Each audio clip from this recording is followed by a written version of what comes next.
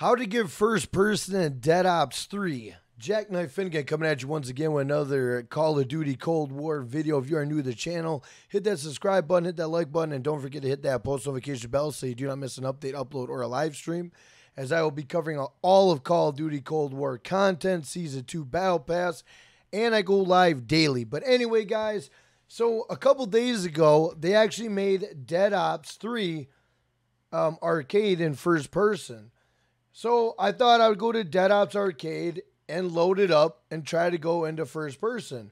Well, I went here, I played with a bunch of people. Nobody knew how to get first person other than getting power ups or tiles that allowed you to go first person.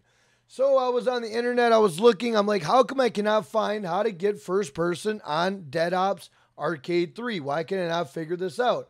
So I went to a channel on YouTube, a smaller creator, and this guy's name is the Freak of Nature Gamer. So big shout to the Freak of Nature Gamer. I went into his live stream. I said, hey, how the hell do I get Dead Ops Arcade 3 on first person?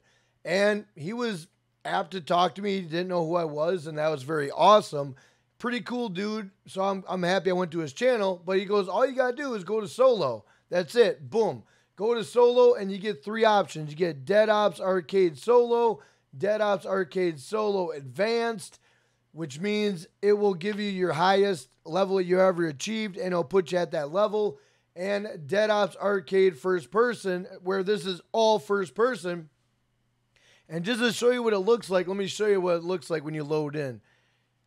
So if you guys ever wanted to play Dead Ops Arcade first person without, you know, getting the power-ups or doing the tiles, you just want to play first person, in this game mode, well, now it is available courtesy of the update that recently just happened in Call of Duty Cold War. All right, so once you get in, you can tell that you are now playing Call of Duty Dead Ops Arcade first person. So there you go, you guys. Let's check it out. It's pretty cool. I kind of like it this way. Let me know in the comments what you guys think. Do, you guys like this mode in first person? Do you like it the old way? What do you like? I know a lot of people since uh, Black Ops 2 wanted this to be first person. Well, now you can do first person just as easy as that. Boom. Go to solo, have three different game modes, and there you go. You'll be playing first person in no time.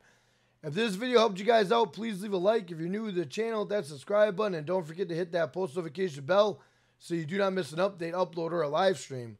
With that being said, I'll catch you guys on the next one. Peace.